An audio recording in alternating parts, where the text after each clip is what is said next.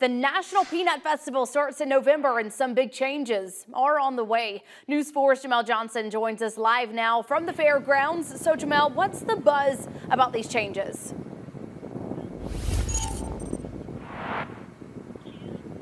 Well, yes, Kinsley, we already know that the parade this year is actually going to be moved to October 26th, but there's plenty more to be in store for this year's National Peanut Festival and the 80 year, 80th year anniversary.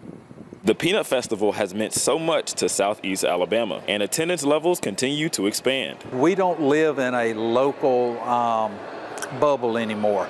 This is a worldwide deal. Getting first-time sponsors like the University of Alabama is proof the event keeps on growing. And just like peanuts, knowledge can grow too, starting with the youth. We're really pushing the hands-on educational uh, experiences that we'll have this year. A lot of kids think that food just comes from grocery stores. We wanted to stress this year not only that we appreciate farmers, but the importance of growing a new crop of farmers. They'll learn all of what agriculture has to offer, along with tasting new flavors during the boiled peanut recipe contest. Regular boiled peanuts are fine with me. The dill pickle ones, I mean, how can you not like dill pickles? We're going to try that. Along with the peanuts, the pageants are getting improvements too. We love to see these girls have projects and really put a lot of energy into their local community. Weighing categories like community service higher in the hopes of fostering a caring environment. A lot of people grow up these days and they leave town. This causes these girls to fall in love with the, not just the town, but the people that are in it. Ellison is hoping these improvements, coupled with the anticipation for an 80-year celebration, will help the festival continue to reach new audiences. I think people realize just what an impact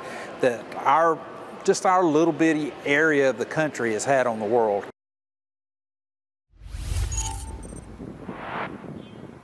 Now, Ellison tells me he's hoping for record-breaking numbers in attendance this year. The National Peanut Festival officially kicks off on November 1st. In Dothan, Jamel Johnson, your hometown news leader. I can't wait. The countdown is on. Jamel Johnson, thank you for that update. So how long is it until the festival? Well, as Jamel mentioned, it all gets underway November 1st. That's 65 days from now. The festival will run through November 10th.